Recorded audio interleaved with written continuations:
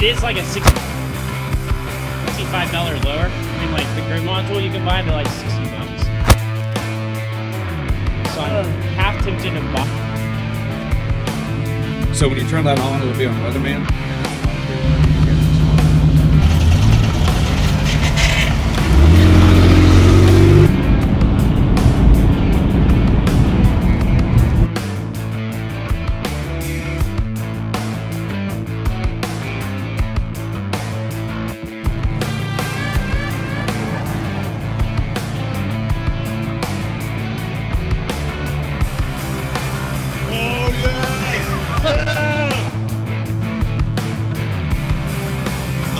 So clean. What shutter is that?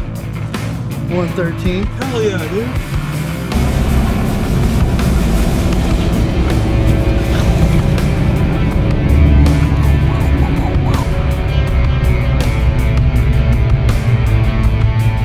Uh, What happened? It just died on us like we ran out of fuel. You think you did run out of fuel? I think uh, it's fuse or something like maybe. I don't feel a problem. I don't think it's found. Hold on.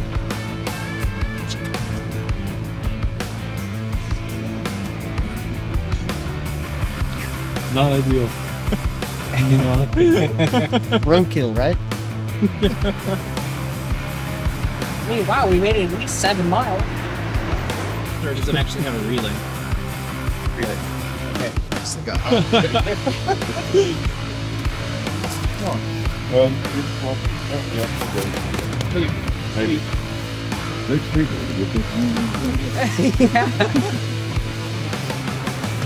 Well, buddy check, buddy check. So we were on our way to Mud Mocha. It is 7:48, so we're gonna be late to our own event. Um, Jeep stuff. we're just, you know, broom brooming down the road and uh, end up blowing a fuel pump fuse. So uh, we're currently switching fuses and switching over some wiring to a different switch. Uh, maybe something burned up in that. Not totally sure, but uh, we're getting back together. Seth Brown's on it, and then uh, we'll be at Mud Mocha hopefully here soon. How's it feel to finally drive it after having it back together? Oh, it's so nice. Gonna try and hook up uh, our jumper straight up to the uh, positive and ground on the uh, bat or on the fuel pump, and see if we get power that way. Basically, these two wires right here. Are you grabbing strippers or anything on the pump? No, nothing. We're gonna you're gonna do the fuel pump at Mud and Mocha? I mean, probably. Might as well.